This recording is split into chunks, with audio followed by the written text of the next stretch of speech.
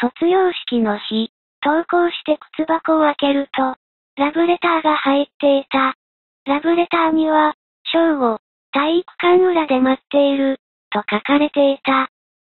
式を終えて、額に胸を膨らませて、待ち合わせ場所に行くと、同じクラスの田中くんがそこにいた。田中くんは、前から好きだったんだ。付き合ってくれ。と、私に告白した。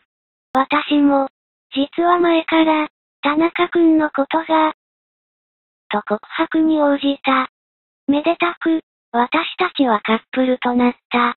なお、この日カップルが誕生したのは、私たち以外にもたくさんいたらしく、過去にも、このようなことがあったらしい。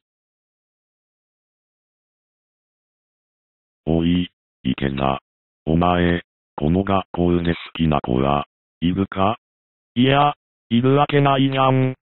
もったいないなぁこの学校の卒業式の日に告白をすれば、必ず成功するって噂だぜ。